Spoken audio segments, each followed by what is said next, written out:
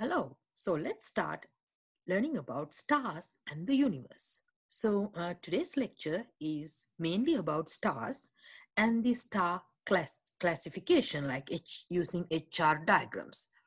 So a fixed luminous point in the night sky that is large, um, a remote celestial body like the sun, right? So when you're looking at this sky, you see this a nice distribution of stars, right? Now we are living in a um, urban area, so it's hard to see a really um, bright stars in the sky because it's dimming due to the street lights and the other building lights. However, if you able to go to a little bit rural area and uh, observe the sky, it should be a nice, uh, shiny sky, sky with lot of uh, bright stars. And even we can recognize lot of different colors of these stars. Well um, so main thing is those stars are very similar to the sun that we see uh, every day in the sky. So mainly how does these suns make energy? So um, now we know um, little bit more details about stars and how these stars are making their energy. So uh, the, the reaction, what we call nuclear fusion, um, converts hydrogen atoms into helium. In that procedure, uh, these stars are making energy. So the byproduct of nuclear fusion in the sun's core is a massive volume of energy, volume of energy that gets released and radiates outward toward the surface of the sun and then it gets spread into the solar system and beyond. So when you're measuring the stars for general people that who don't know anything about the stars and especially when you're not really interested in observing the sky, we would say, oh, they look all alike, right? But if you're being a little bit careful, you can distinguish these stars. So some stars look bright and some are faint. Sometimes that's due to them being at different distances, but it's also true that the stars emit different amounts of light. So the distance to the star or the powerfulness of the star will define the brightness that it looks in the sky. So if you look through a binocular or a take picture of them, you will see that they are they all are different colors as well. So some stars appear white, some red in color, uh, some are orange, even blue. And for a long time, the re reason for this was a mystery. So we didn't know anything about having different color stars in the sky. But now we know why it is just so. So in the late 80s, we were only just started, started at to figure out um, interpreting stellar spectra. So in this uh, diagram, you see the stellar spectrum uh, with um, combination of absorption spectrum and emission spectrum. I believe you know what it is right now because we have learned those in the previous lectures. Uh, and this graph is the relative brightness versus the wavelength uh, of the stars, right? So you will be observing the variation of intensity and then uh, we can decide like what's going on with the temperatures and the colors in the stars. So the spectrums that we measure from a star is a combination of two different kinds of spectra. One is the stars are hot, then the dense balls of gas. So they give off a continuous spectrum. That is, they emit light at all wavelengths like our the white light that we receive. So that is a continuous spectrum where we see all the seven colors. Uh, and a mix, uh, and when we mixing all these colors, we see it as a uh, white color light. Then the stars also have atmosphere, uh, thinner layers of gas above the denser inner layers. So these gases absorb light at specific wavelength from the light below depending on the elements in there. Uh, so the result is that the continuous spectrum of a star has gaps in it. darker bands where different elements absorb different colors. So these are absorption spectra.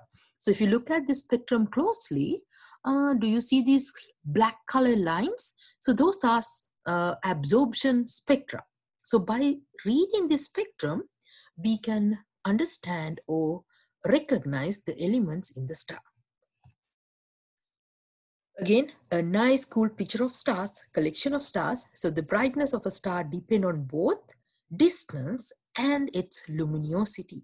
So let's learn about luminosity in the next um, slides. So how far away are these stars? That's a good question. So we don't know how far they are, but when you're looking at the sky, we see like it is in a fabric around us in a kind of same distance to us, but it really knows these stars are lying way different distances than what we see.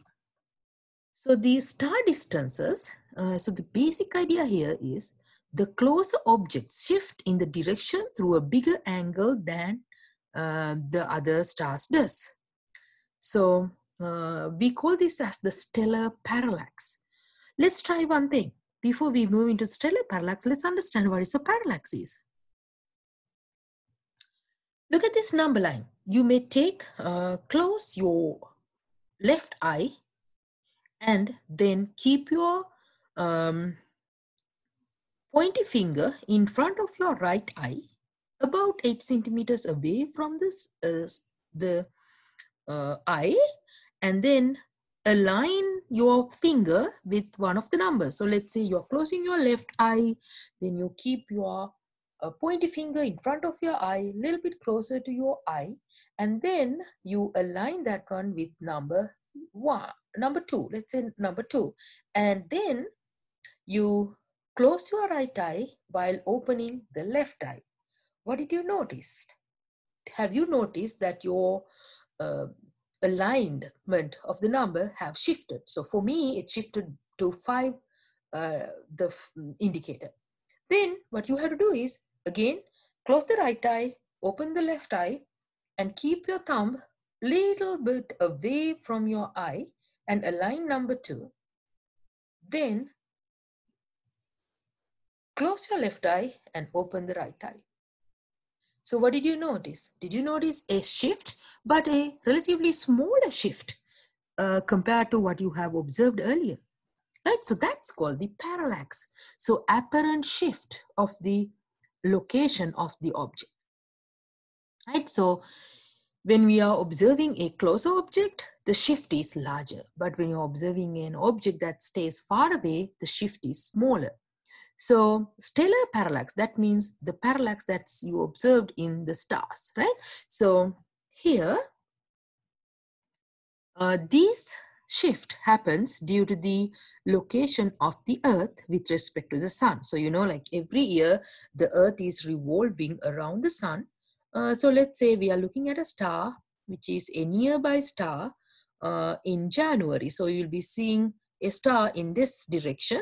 And then later after six months later in july we are observing the same star but it is in the other way around. So relative to the distant stars this star, the location has shifted.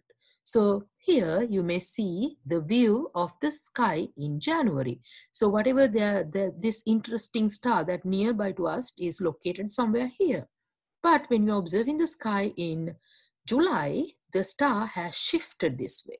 So that's called the uh, parallax shift. So this star is nearby star, so that's why you see a big shift here.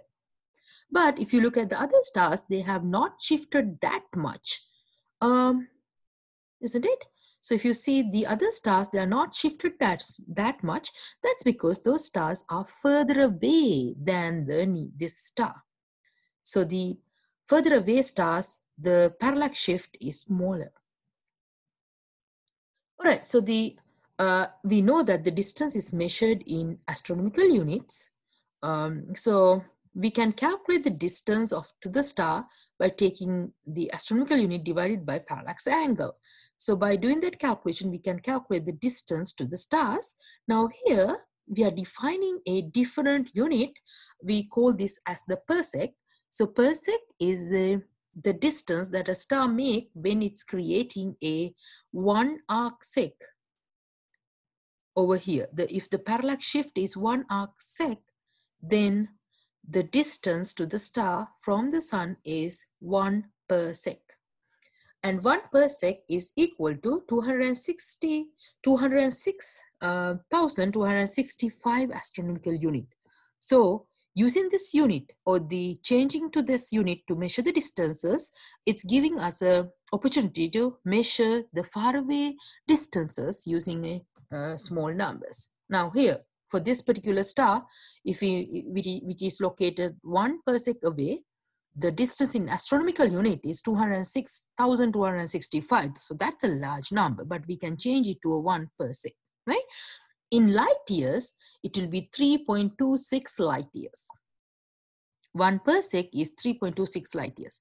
I believe we have learned this in the uh, somewhere in the beginning of the semester, but this, this is just a review for you. So typically parallax shift for the near stars less than one arc second. That really tiny and hard to measure. So this method works up to 100 per parsec. That's 0.01 arc seconds of a uh, parallax shift. Uh, so the brightness of the star depend on both distance and luminosity. So we already heard about it, right? So how do we measure the stellar lumino luminosity?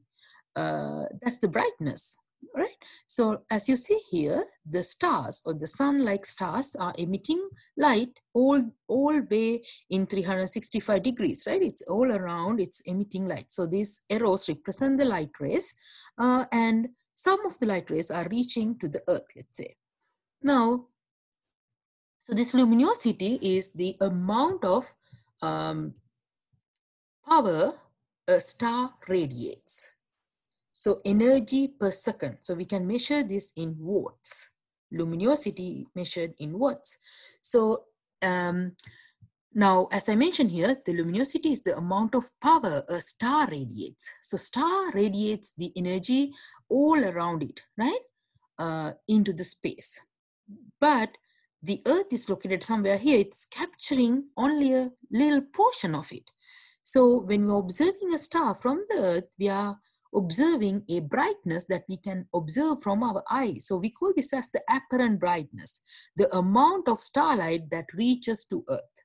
So the energy per second per square meter is the unit. So here, if you consider a one square meter area, and if we can measure the energy that reaches to that area in one second is called the apparent brightness.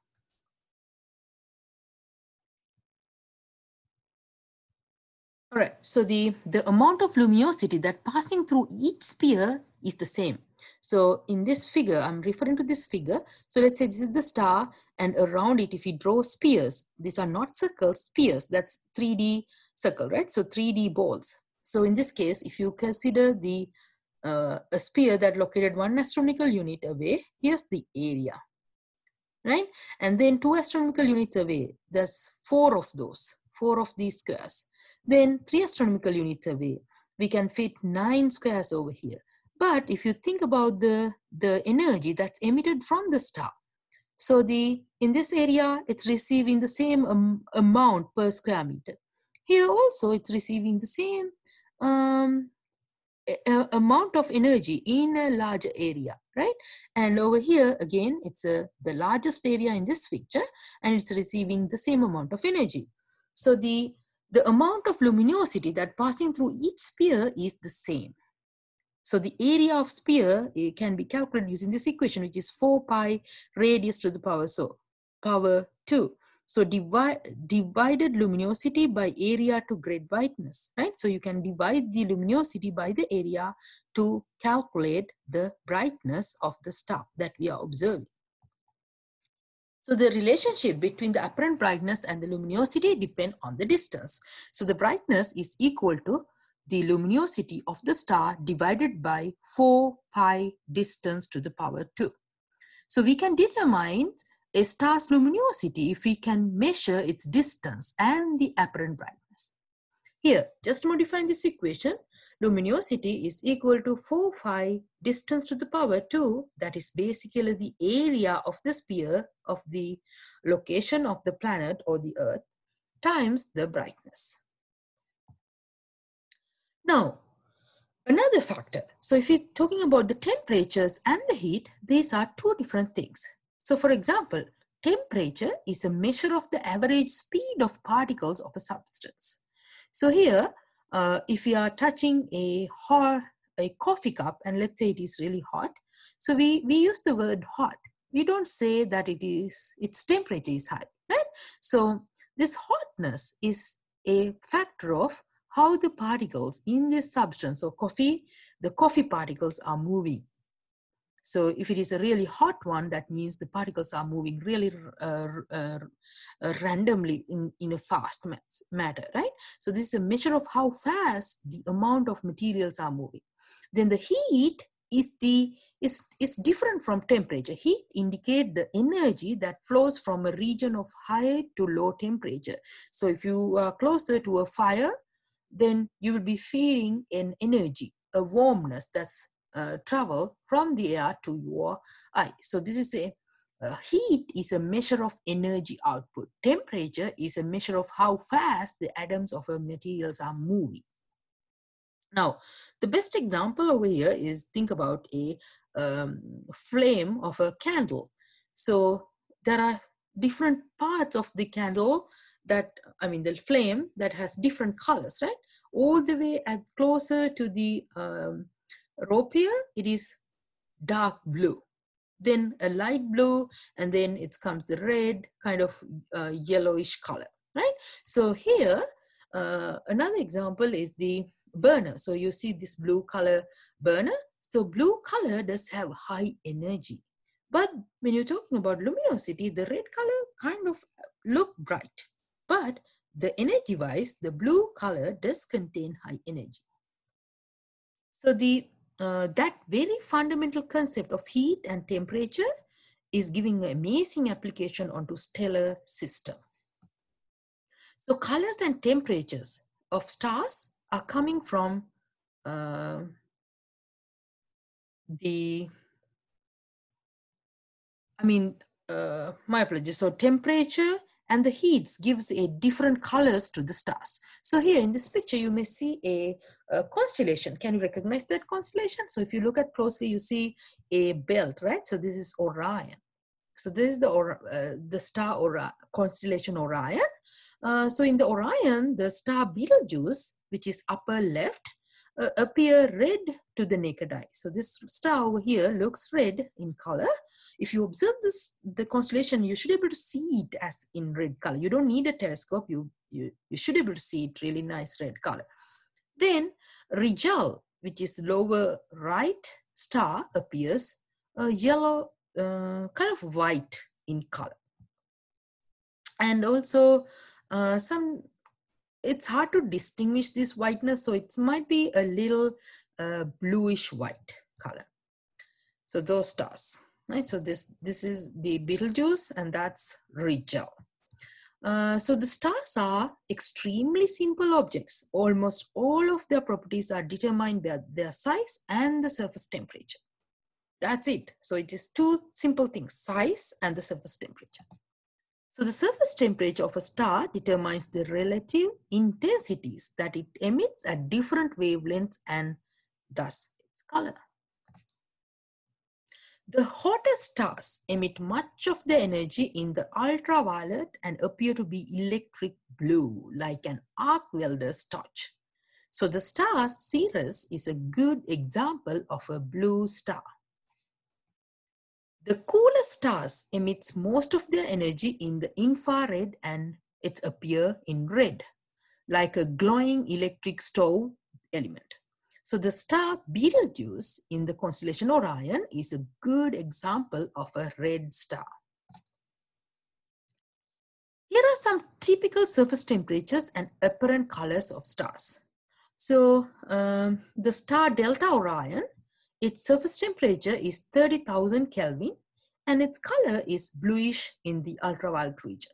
Then the star Rigel is 20,000 Kelvin and it's appear blue in ultraviolet. Then Sirius is 10,000 Kelvin, it is bluish white. Uh, Canopus, it's 7,000 Kelvin and it's yellow and white. Then the sun that we see, it is about 6,000 Kelvin and it's yellowish white. Uh, Arcturus, which is which surface temperature is 4000 Kelvin, it's peach in color. Betelgeuse, which is 3000 Kelvin, and it is red in color. Red, but the surface temperature is smaller than the blue color star Beetle Delta Orion. For the hotter stars, the main difference in color are in the ultraviolet that our eye cannot detect. So there are spectral types. So stars are classified according to the um, their um, appearance of their spectra. So the important variable that determines uh, that appearance is the surface temperature. So before the physicist of light emission was well understood, um, I think I pronounce it incorrectly. So before the physics of light emission was well understood, stars were classified according to their spectra in much way that biologists would classify a species of frogs. So the original classification scheme assigned letters of the alphabet according to the prominence of the emission lines of hydrogen in a star spectrum. Hundreds of thousands of stars were classified according to that scheme. So once it was realized that the important variables is actually not the hydrogen line intensity, but temperature. So they did not rename the types.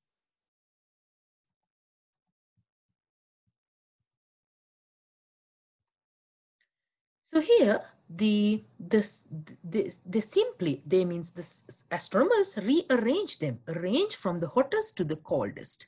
The important spectral types are uh, O, B, A, F, G, K, M.